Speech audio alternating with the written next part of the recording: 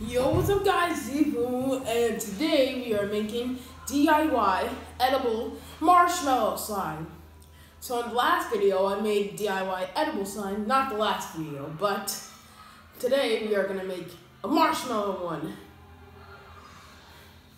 And I already cooked it in the microwave, so I'm to go get it now, and I put yellow food coloring in. Okay, so now I got my mixture, and I put powdered sugar in it. So now we're gonna speed up this mixture.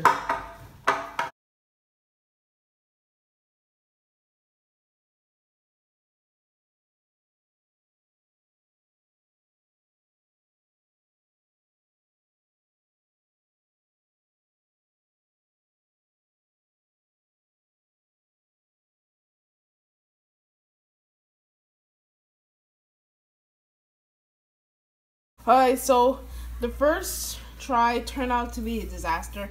So I put green food coloring in it and it expanded in the microwave. And I am not going to be showing the mixing part because I already been mixing. Okay, it's just the same step. So you get your marshmallows, put your food coloring in, and put in your powdered sugar.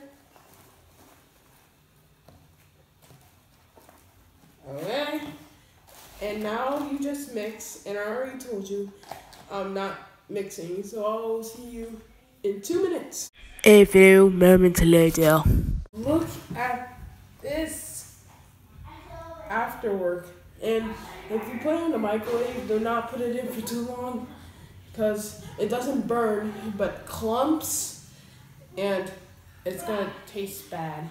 So for the moment of truth, we're gonna taste it. Alright.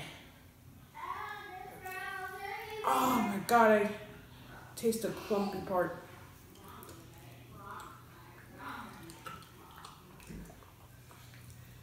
Just tastes like a regular marshmallow. Uh, it tastes good. So I hope you guys enjoyed this video. So if you want to watch the DIY edible slime where I use the gummies, the description is down below. And can we get this video to five likes?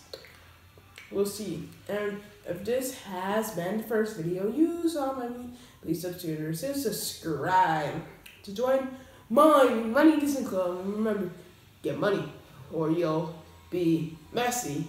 I mean, funny. 嗯。